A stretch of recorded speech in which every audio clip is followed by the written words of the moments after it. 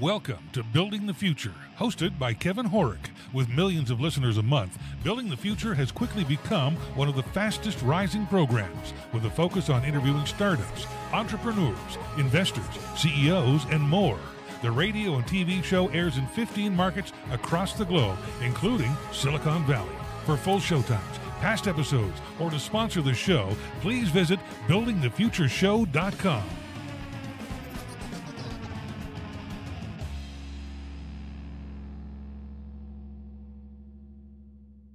Do you have an app idea that you've been dreaming about but don't know how to actually start building it? Use Bubble. I've been using Bubble for a number of years now. It's an extremely powerful no code platform that enables you to build, launch, and scale real products without investing thousands of dollars on engineers, designers, or spending time trying to code it yourself. Use Bubble's visual drag and drop tool to create really anything from marketplaces, SaaS products, and so much more. Join over 2 million people, including myself, already using Bubble to launch and grow businesses. Welcome back to the show. Today we have Joe Tolzmann. He's the CEO at Rock, Rocket Plan Technologies Inc. Joe, welcome to the show. Hey, Kevin. It's awesome to be here. Thanks for hosting. Yeah, I'm excited to have you on the show. I think what you guys are doing at Rocket Plan, especially the industry that you're building technology for, isn't really known for technology. But maybe before we get into all that, let's get to know you a little bit better and start off with where you grew up. Sounds good. Um, yeah, I grew up in Croatia. I came to visit my parents here in Canada in 2003 shortly after I got out of military back in Croatia, and uh, almost 20 years later, I'm still here. It's probably one of the best decisions that I made. Okay, so what made you stay? Um, I just love the the lifestyle here. It's quite different than European or Croatian. Just like one language, you know, a lot of opportunities, and uh, yeah, it's a good thriving community. Very cool. So, walk us through your background maybe some highlights along the way up into what you're doing today, and then we'll dive into Rocket Plan. Sounds good. Um, when I came to Canada, Couldn't speak a word of English, so it was oh. pretty exciting. It was uh, it was challenging, but it was good good journey. I figured uh, I got to find a job to interact with people, practice my English, and get better from there. So I landed the job at Dairy Queen. I worked there for about seven months. Okay, it was, uh, it was quite an experience, but um, it kind of gave me confidence and enabled me to start doing my own thing. So I got into doing restoration, renovation, little repairs, eventually build a company to do new real estate developments for customers. Then I've done some of my own real estate developments as well. And economy was good up until 2008. There was global recession. The world fell apart. And I got pretty lucky at the time. I locked in a contract that kept us busy for about two years. Wow fixing a complex of six buildings. But um, eventually that dried out. 2010, economy was still pretty soft. There was not much happening. And um, I had good relationships with property managers. They keep asking us, can you guys do emergency response, flood and fire restoration, insurance work? When I heard insurance, recession proof, I was like, great, I'm in. So eventually I started a company here in Vancouver with two other guys and we built it to over 100 employees with branches wow. in Vancouver and Calgary. And um, when I started, I was project managing, taking those calls, responding to the emergency, working with my crew in the field, doing demolition cleanup, gathering all the documentation, going home, manually creating those reports, uh, doing estimates, doing invoicing. And I was able to handle that in the beginning. But as we grew, we were hiring more and more people now we're implementing software for this vertical, went through implementation of three of them, and it was pretty painful. It took like three to six months going through the process to realize none of them really worked. And the reason for that was they were all built before smartphones really became smart. So uh. well, the workflow was totally backwards. The nature of the business is that when you show up at the site of the damaged property, you don't really know what you're dealing with. So you have to document everything for reporting to the insurance companies, but also for yourself to understand the extent of the damage, what the scope work is going to be, and um, so you can quantify it in the end and provide those estimates and, and billing. So back in the day, that was all done manually, taking photos, taking notes, sometimes even paper, and then taking photos or emailing that back to the office. It was huge delay, room for error just enormous, and it was very inefficient. But that was just the way it's done throughout the industry. Then one day I figured I got to hire software engineer, bring them on staff, and build something that actually works for the people in the field. You know, understanding dynamics between internal stakeholders in our company, but also external stakeholders, property managers, insurance owners, uh, insurance uh, companies, property owners, tenants, and everybody involved in the process to keep everybody informed. So we built this prototype. It looked like 1980s DOS, black screen, green and red buttons. It was pretty basic, but it worked well. So we're able to capture all the data on the go without making anybody to learn anything new because everybody on the job already is collecting the data. They know what's relevant, but now they're doing it on their mobile device, getting it into one place. So our office can begin estimates. They have all the information for billing, but also to report to property manager, insurance adjuster, uh, property owner, what's going on, you know, where's the end to this, and, and kind of eliminate a lot of stress, a lot of confusion, but also streamline the process. So we were significantly more operationally efficient. We cut out over 50% in admin and management labor, and we were now scoring a lot of new business because insurance adjusters, property managers, they prefer to work with us because us providing that information to them timely and organized makes their jobs easier. And one day I realized that everybody in the industry's got the same problem throughout and what a massive opportunity is to help you know, connect field and office teams and uh, help a lot of people in the process. Interesting. So, by the sounds of it, and you can correct me if I'm wrong, you don't really come from a technical background. Is that correct? 100%, yes. So, how did you know or basically decide to start leveraging technology and software? Because that for a lot of people that don't come from a technical background can be really daunting. You know i had general understanding of what's available out there but i really focused on how to apply technology for the field for the person who is doing the job to make it easier. And it goes back to you know fundamentals user experience. It's an essential to success and and work it from the bottom up rather than from the top down. And me working in the field I think I was pretty lucky to understand, you know, what it's like to do demolition, do cleanup, running equipment, capturing all the documentation, you know, typing notes in a phone or in a piece of paper, and then uploading it to some systems. So I, I think I was lucky to be familiar with all aspects of the job to kind of get it going, and then find the best people, you know, when it comes to UX, when it comes to engineering, and piecing it all together. Got it what what advice do you give to people that are maybe were in a or in a similar situation um, where you were a number of years ago before you were actually building software? Well, I think identifying the problem and then working towards solution. That's the that's the beginning of it. Yeah, that makes sense. Uh, so I'm curious then how did you actually decide to productize um, the product and actually how did Rocket Plan, you know, come to be? Yes, you know, after we built their prototype, it worked really well, and realizing that everybody industry in the industry is struggling with this, and it creates a lot of stress. You know, homeowners that get displaced from their apartments, from their homes for a prolonged period of time, unnecessarily because it just the whole process is inefficient.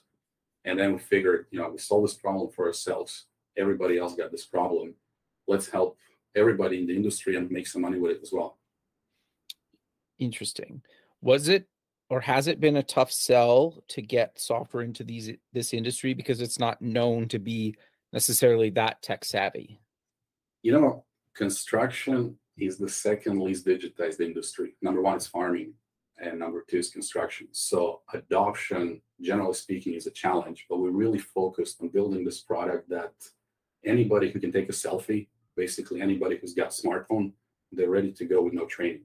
And it's built for the person who's already on the job, so it doesn't require them to learn something new. You know, if somebody's doing demolition, taking photos of demolition, they're already taking photos, so that's pretty basic. But now they're doing it on Rocketplan, where everything falls into the place as relevant to the project, to the insurance claim. Um, getting people aware of it, it was just marketing, you know, just letting people know solution is there, have them see it, and then from there on, he just picked up. It was amazing to see how, you know, from smaller individually owned companies to some of the largest, globally, the largest restoration firms are coming on board. And after they signed up, it was very little to no interaction with their users because the product was built to be super intuitive, really focused on the user experience. Interesting. So, walk us through from actually creating an account to actually using the product to do, you know, say like a restoration on a house or a building. Like walk us through that. I get it's hard kind of sometimes when it's visual, but can you maybe give us a rough idea of how to use the product and uh, you get just like a bit of a deeper dive into that? Yeah, totally. So I think we can go through one use case scenario. So a typical water loss, which is the most common property damage, there was a burst pipe in unit 2001, 123 Main Street. So okay. Project manager receives the call, knowing that there was a burst pipe. At that point, they don't really know, you know, how many rooms are damaged in that apartment. Is it additional apartment common area affected as well? So they're showing up on site. They need to get work authorization signed from the property owner or tenant they need to start assessing and documenting damages. So the process is unit 21, uh, you go into kitchen. There was a burst pipe underneath the sink. So documenting this as a cause of loss for insurance purposes, uh, then working the extent of the damage in that kitchen, taking photos, infrared camera photos, because sometimes water damage is not visible uh, in the photo. Uh, infrared camera picks it up so now traditionally with a rocket Rocketplan, you would do all that manually. Then you would have to say, I don't know, floor is damaged. What type of floor? Laminate, carpet, tile. It could be so many different materials. Um, without Rocketplan, that would have to be manually captured and then entered into some internal system where estimator accountant would be able to quantify the damage to provide estimate invoice and also to report insurance company. And it would take forever because you know, just scanning that property takes a while. Now, after you gather the data, you need to deliver it to someone. That someone hasn't been to the site. Uh, it's really hard to make sense out of it. You know, even even for yourself, after you've been to three, four apartments, multiple rooms in each, it gets quite confusing and very inefficient to upload the data, organize it, and then have accurate estimate and billing with Rocketplan, we build it so person does whatever they're doing. They're unit 2001, taking photos, infrared camera photos in the kitchen. They're selecting what materials are damaged. Uh, they're taking measurements of the room from there. Everything automatically converts into reports. So whoever looks at it, the insurance carrier, insurance adjuster, it's super clear for them what happened, date stamped, GPS stamped. So it's everything organized, falling into place. Super easy for them to verify uh, a data integrity and carry on from there. So imagine repeating this process. You know, you got living room, kitchen, bedroom, bathroom, another apartment, common area. Now, after you gather all this data, you need technicians to come and actually do the do the work. Sometimes it's um, cutting up drywall, removing the flooring, uh, moving the furniture. When furniture is being moved, every content, every piece of furniture in that room needs to be documented, whether it's stored into another room somewhere in the building or totally packed out in storage.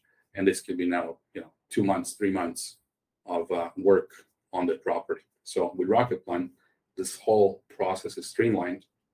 Data is captured, you know, immediately on the spot, falls into the place, and then automatically processed throughout all the way until the money's in the bank. Interesting. Okay. So I'm curious, obviously, do I have to kind of start with a, a template or or like of in your case what you just said like water damage but if there's like fire damage is it different? Like how is it similar or different um based on what the damage is or is it not really any different? So the workflow in general terms it's very similar. There's okay. few variations in it but we build it in a way that works for the workflow from that person initially showing up on site to the workers working in the field to the people working in the office, estimator and accountant. So it's built for each of those stakeholders or, or roles in the company for their particular role. And it's all connected throughout the workflow. And that's what makes it so efficient. So people don't really have to look or deal with some data that is not relevant to them. You know, if somebody's setting up drying equipment or or dealing with smoke damage, it's only what's relevant to them while they're doing that part of the job. Got it. Okay, that makes sense. So, how does it work if, say, I'm on the insurance side or the customer side? Like, how do like if my company is a restoration company and I'm using Rocket Plan, how do I get it in the hands of you know the insurance company and maybe the customer? Do I just send them a link or or walk us through that? Oh yeah, either automatically generating PDF report and emailing it straight from Rocketplan or sending a link to the information that's relevant to them. So when it comes to property manager, you know, their their biggest thing is to understand that work is underway. And because there's so many different stakeholders involved in in uh, the actual work on site, right. sometimes, sometimes it's challenging for property manager to talk to project manager at restoration company who then needs to talk to their foreman and technicians to kind of get an update what they're doing when they're coming back. Sometimes there's a couple of days breaks in between to dry out that space so there's no real activity other than you know drying equipment running to dry out the space. But then from the perspective of the owner it's like well these people came they ripped my apartment apart and nobody's showing up for a few days. So there's a lot of that you know broken communication. While with rocket plan it's super clear to them at any given point without calling people and asking what's going on to know the status of the project. Got it. Okay. That makes sense. So walk us through basically how how do I ask the question? Um let me see. Um if like if something happens that delays something do I get like a notification to say like this material is on back order and it's going to be an extra few days or or is that the type of stuff you capture in in the reporting or, or walk us through that a little bit? Yeah so from the beginning from that uh, mitigation you know taking property apart mitigating the damage and then doing the rebuild everything is built for that seamless process. So oh, okay you know, from scheduling, for example, if you had to remove uh, hardwood floor, well, that hardwood floor might have lead time to be ordered I know, two Ah, months okay. because it's some kind of specialty item. So it's all accounted for in that schedule and, and it enables project manager to actually keep that schedule tight. So, you know, they order flooring first thing while they're doing the other work so that lead time kicks in. So there's no breaks in between. got it okay and then how do you monetize the platform do you just charge like a monthly fee or or walk us through that Yeah, so it's it's pretty simple SaaS model. It's uh, per user per month. So we have a couple of different options. Uh, yeah, ultimately it's uh, about hundred dollars per user per seat, but it eliminates significant amount of manual labor. Um, yeah, and enables companies to invoice pretty much immediately when the job is completed, submit to the insurance companies and get paid quicker, which often takes you know months to sort out because insurance companies they need uh, documentation to be able to process the claim. right and you're basically instantly providing with all that documentation Yeah, you know, from from insurance adjusters or carriers' perspective, uh, they they want to know what's the extent of the damage. They need to confirm the coverage that this loss is covered, and then you know make sure it's done properly and, and efficiently for a reasonable price and close the claim. If they don't, when they don't have that information, it's very often because that information comes from you know, multiple people and it gets delayed and mixed up. It creates more work for them, and it just extends the, the whole duration of the claim cycle. Right. Okay. That makes sense. So you mentioned earlier that construction is one of the industries that doesn't have much technology. Why do you think that is the case? And and like obviously, you know, Rocket Plan's trying to make that better, but why do you think that's the case that just it hasn't really been or it's just starting to get hit with technology?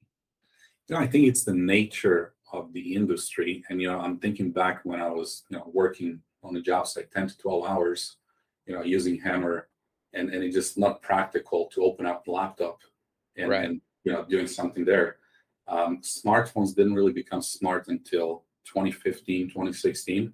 So all the tech that was built, it was built for the laptop, for the office, you know, and for the people that want to receive information. But somehow they missed this mark of capturing the data in the field because that's where it begins, and then connecting it to the office. And since we couldn't find, you know, product that would do that, that's why I decided to build our own.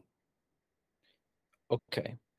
What other advice do you give to people, maybe in the construction or kind of non technical space, to actually build and follow through and find the people to actually execute? Because that's sometimes the hardest part.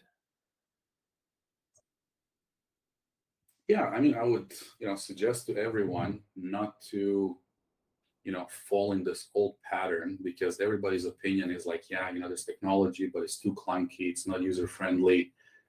You know, th- the things are developing fast, so technology is being better.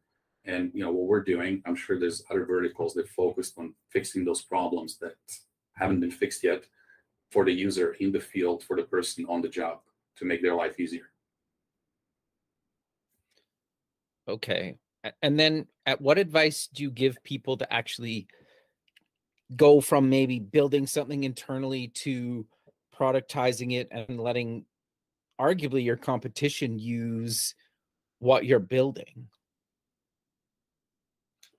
You know, that's always 50 50. I mean, I, always think like, how long is it going to take to build something? Will you get it right? And if you're already doing business, is it just better and, and more efficient and economically smarter to pay the fee and get something that solves your problems? So I think each person individually should uh, make their own assessment on it. Okay, fair enough. So I'm I'm curious then if when when you guys were building this and you you talk about user experience being super important because of your background, you could probably take a pretty good guess at what needed to be on the screen and and kind of a simple flow. But did you do user testing or or walk us through how you kind of nailed the user experience?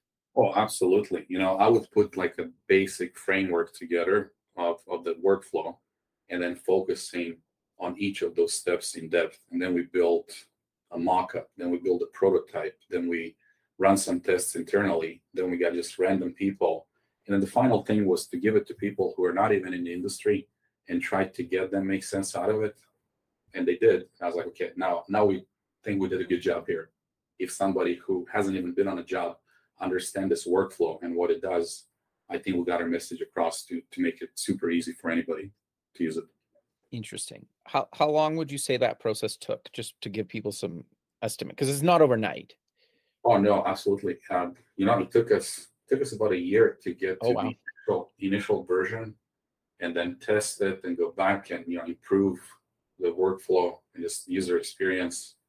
And um, yeah, it's it's a it's a lengthy process, and it's not like once and it's done because there's so many variables to it, and there's so many different people and and you know their take on it. So it's it's really critical to find a universal spot that everybody's just like makes sense. This is how we do it. No, that's fair. So how do you manage feature requests with your own roadmap? you know, again, because I worked in the industry and, and I'm familiar with all aspects of the job and the entire workflow from, you know, being technician all the way up to the owner of the company, I was lucky to lay it out and prioritize it in a way that made sense to me.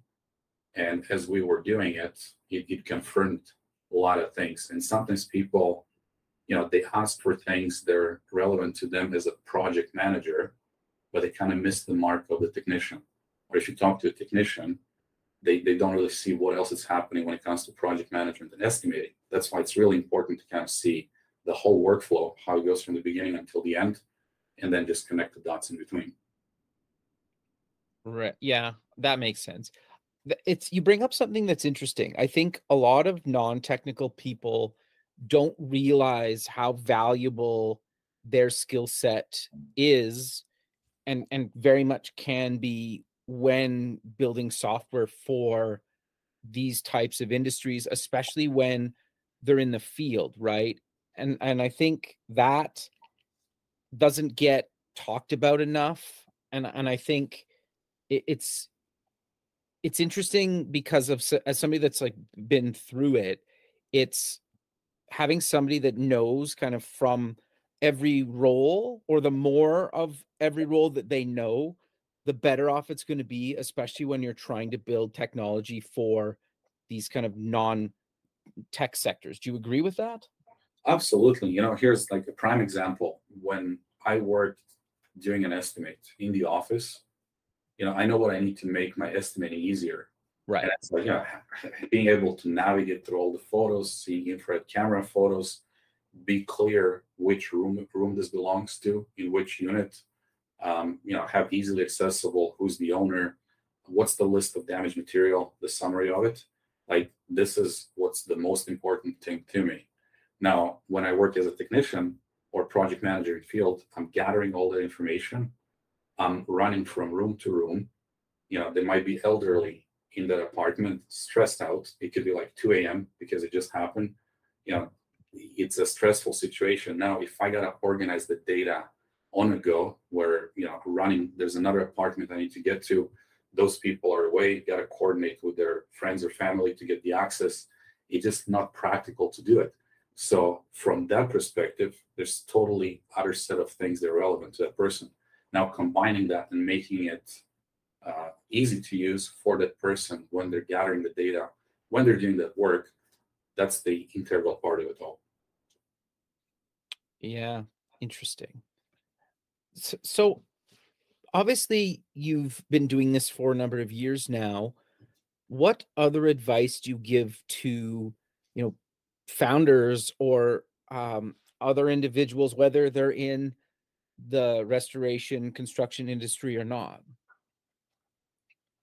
Well, I think it all starts with identifying the problem, finding the solution, and have a clear path how to get there and be prepared. It's not going to be a straight line. Okay. Then when things maybe didn't go, you know, the way you wanted it, and that like that to reference that straight line you just mentioned, how did you kind of persevere and, and decide not to give up? Because I think, especially early on, when software is taking a long time, because it usually takes longer than expected, what made you actually keep going and, and getting this thing built? Because it said you said it took you about a year, or you I'm guessing you probably thought it would take maybe months, not not a year to get kind of version one, or, or walk us through that. Totally. You know, like I I knew for myself that everybody's got this problem, and I knew what the solution is. Now getting to that solution, you know, it was number of iterations because before you get into it, you don't really know which obstacles you're going to encounter. So I think the key is to get in as soon as possible, hit those obstacles, and then figure out how to get around them. Yeah, that makes sense. So I, I'm curious, how did you work with? Sorry, I guess did you hire an internal dev or did you basically outsource to a company or a bit of both? So we uh, we had our own internal uh, software engineer. Okay. Yeah, we had our own internal software engineer, and uh, we're keep adding to the team. You know, when it comes from backend, uh, iOS, web, um, UX. So we're keep adding to the team, expanding it, and then refining the product we had based on the feedback we're receiving, and adding more features to provide more value to the to the customer. I see. And then are you basically every time you're adding features, are you trying to like upsell them on different things, or it's kind of you pay your hundred dollars and it's you get everything?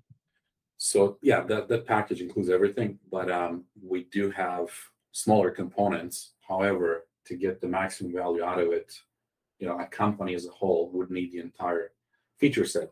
Now, certain things are relevant only to people in the field. Certain things are only relevant to people in the office. So we do have those options if they only care about certain things. We also build this product that it's super easy to integrate with any legacy system.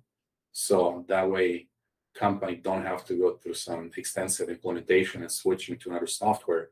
We're just connecting field and office in this situation where we enabling field workers to capture the data on a go on a mobile device and then connect it to their internal system if they need to use it for whatever reason.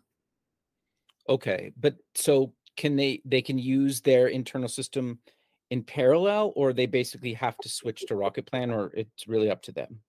It's up to them. They don't have to switch necessarily. Um, there are you know large franchises with hundreds or thousands of locations. Uh, recently, we got one of the largest contractors globally come on board with um, you know not changing their internal system.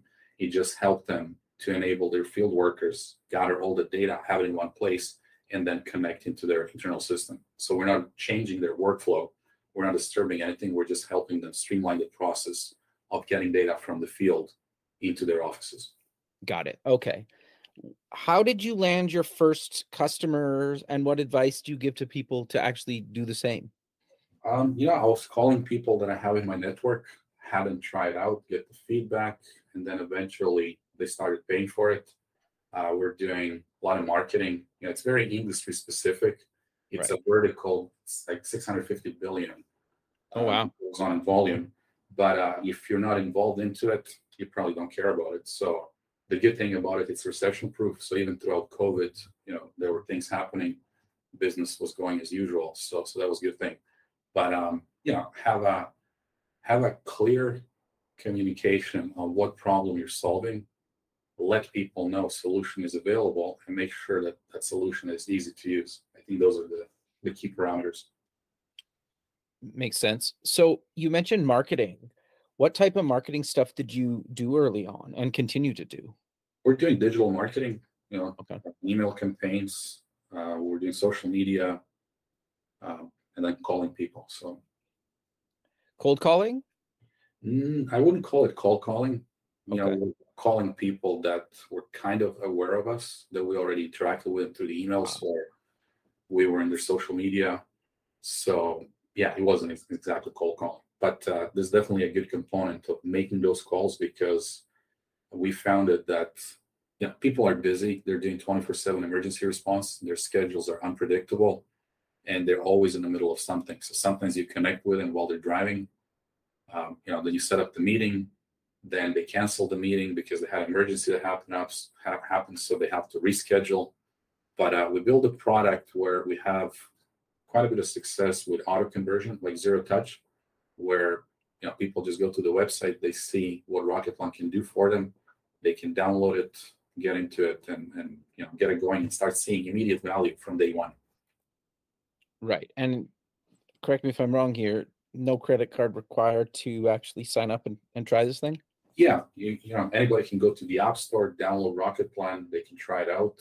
Uh, we're really focused on this PLG approach, product led growth, to make it easier for people to um, start receiving that immediate value from day one.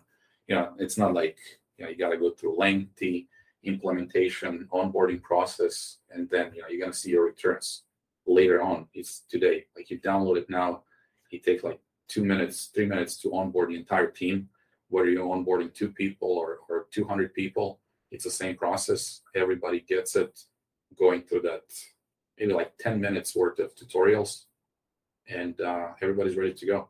And the key thing is they're not doing anything new. They know how to use smartphone. Most people do these days. Right. And yeah. already working on the job. So we're not requiring them to do anything different. But everything falls into the same place. Got it. No, that makes a lot of sense. And then how is the desktop component similar, different than the phone component? Is the desktop more kind of office focused or insurance yes. focused? Okay. So, so, desktop is more to receive the data. Mobile is more to capture the data. Got so it. when you're in field, you're capturing those photos, notes, getting work authorizations. So you're doing it all in Rocketplan. That's immediately available to people in the office, estimators, accountants, so they can do whatever they need to do on, on their end and have that data in real time and neatly organized so they can make their work more efficient but also more accurate because without it, you know, there's always the room gets mixed up with another apartment, uh, or the rooms get missed. So so there's a lot of confusion there. But with Rocket Plan, it's all in one place. Got it. So, depending on geographic region, is the process the same, different? It really depends. Walk us through that. No, you know, it's consistent throughout. It doesn't matter where it is. When there was a property damage, the, the work needs to be done. And then it's the same process of documentation and reporting to insurance companies and same process of quantifying the damage, producing estimates, and doing billing. Okay, fair enough. Um, and then how does billing work? Like Rocket Plan handles my kind of invoicing and billing, or, or walk us through that. We we don't do billing, but Okay. uh, we we enable accountants to have all the information they need so they can produce that accurate billing. And there's a lot of backup information they need to uh, to do their billing, and that's the big challenge. You know, when it comes from multiple people, it gets delayed. You know, they're billing like weeks after the job has been completed. Right. So they're missing, you know, work authorization or, you know, how many square feet of flooring has been replaced in this apartment, in this room. Now they have to figure out who was on the job weeks ago. You know, where is that information? That person is already doing so many jobs after, you know, this work authorization might have displaced in, you know, different folder or left in someone's vehicle. And, and it's, yeah, it's very inefficient. But with Rocketplan, we get all of that information into one place, neatly organized for them, so they can do invoice efficiently and, and right away after the job is done. Interesting. That that makes sense. So you you mentioned something about time savings. Do you have any data around how much time you're actually saving a person or company in in a week? I, obviously, it depends on how big the company is. Yeah. So, so generally speaking, we reduced over 50% in admin and management labor. Wow. And uh, for the field workers, eliminate at least one hour of their labor time, you know, dealing with the paperwork, uploading it, sending it. And then significantly more for people in the office by having that data in one place. You know, often you could have estimator begins an estimate and then, well, we're missing some information. And then they have to call someone. That someone works on another job. I gotta wait the next day before they gonna gather that information. Next day might be another emergency response, and, and then you know things just get delayed. So it becomes very inefficient for people in the office to do their work without rocket plan. With rocket plan, they get it in front of them, they get into it, they quickly complete it, and they're done. Got it. No, that makes a lot of sense. Uh, the other thing, because tech's kind of going through a weird transition right now, you you guys are actually actively hiring. Is that correct? Absolutely, yeah. We're adding our team from engineering to sales to marketing all throughout. Okay, so people can obviously go to the website and, and check it out if they're if they're looking for. Uh, Absolutely. It's rocketplantech.com. very cool. So I'm curious, is there any other advice that you would give to maybe an entrepreneur or founder that maybe you wish you knew a little bit earlier on in your entrepreneurial journey? Um, I, I think I knew the basis. You know, it's all about getting things done, and I think that's regardless of you know which vertical, which industry that is. It's about identifying the problem, finding solution, and be prepared to do whatever it takes. Do the right thing, no matter how hard it is. And how do you pull yourself through the times when it's really hard and don't just like quit and go back and get a day job or go back and you know do restoration work? Um, I, I don't think about it being hard. Yeah, it's just a job. It, it's it's what keeps us going. It's kind of like going to the gym. You know, you sweat, you're tired, but you feel good when you're done. It just like it's it's the process. and you enjoy that process and that yeah interesting i get that very cool but we're kind of coming to the end of the show so how about we close with mentioning where people can get more information about yourself rocket plan and any other links you want to mention Yeah. So connect with me personally on Instagram. It's Joe underscore Tolzmann with two N's in the end. Uh, for Rocket Plan, check us out on rocketplantech.com. And um, yeah, we're always looking to connect with new people. We're we're experiencing explosive growth, so there's a lot of opportunities developing, and we're always looking for people who are driven and wired like us to always strive to do better and provide the best customer experience. Very cool. Well, Joe, I really appreciate you taking the time at your day to be on the show, and I look forward to keeping in touch with you. And have a good rest of your day, man. Likewise, you too. Thank you. Okay, bye. Thanks for listening. Please visit our website at buildingthefutureshow.com to join the free community, sign up for our newsletter, or to sponsor the show. The music is done by Electric Mantra. You can check him out at electricmantra.com and keep building the future.